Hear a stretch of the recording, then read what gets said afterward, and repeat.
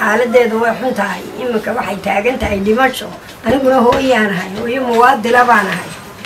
Wax waxaan qabsan karaana ma jirto. Reerkana dantiisaba waa aragtaa. Iminkana haddii caafimaadkayga bannaanka la soo barbar dhigo waanu caawin doonaa. Intii nala caawin doontaana caawin baan ooga fadhinaa insha allah waxay la calool gubyoonaysaa hooyo nimco faarax jaamac. Xaalad caafimaad oo soo food saartay inanteeda oo muddo xabsi ku jirta taasoo aanay hadda waxay u qabato oo ay awooddaa aanay jirin.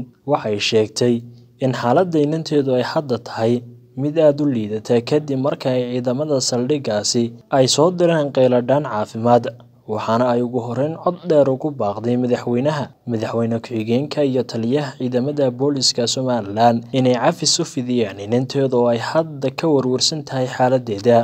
Waxaan ka hadlayaa saldhiggii la geeyey inantaasoo maxbuusada oo xidhnay la xidhay oo saldhiggii la geeyey markuu hayn kari waayey xanuunkii hayay caloosha oo furan kaadidoo ka daadanayso nabar kaga yaal maxay ahayde iyada oo uu iyada oo makaanka nabar kaga yaal uu hayn kari waayey markuu mariyey laba laba digtoor uu geeyey labadiiba mariyey ayuu yidhi kaalaya iga qaada ma hayn kare markuu yidhi kaalaya ma hayn kare iga qaada ayaa laga soo qaaday.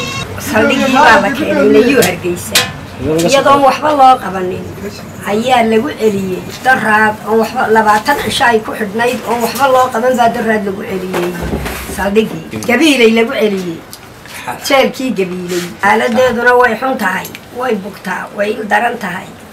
Halkaasaa lagu celiyey madaxweynaha iyo madaxweyne ku-xigeenka iyo dabagale iyo madaxda sharafta leh. Waxaan ka codsanayaa inay saamcafi sii siiyaan hooyo nimco ayaa sidoo kale iyadoo hadalkeeda sii wadata si naxariis looga codsatay. Dhammaanba ummadda islaamka iyo cid kasta oo ka caawin karta inay caawimaad ka geystaan sidii ay u heli lahayd lacag ay kula tacaasho xaaladda caafimaad ee inanteeda xidhan. Kaasoo iga xidhan oo maxbuusada oo ku xidhan jeelka gibiiley jeelkii gibiilayna uu laba digtoor u geeyey labadii digtoorba ay caddeeyeen inay bugto.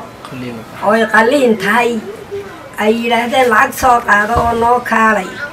Caaqil saxeexana soo kaxayso. Aanu gibiilay ku qallee oona dhi dan yar baan ahoo wax alla waxaan haystaa ma jirto.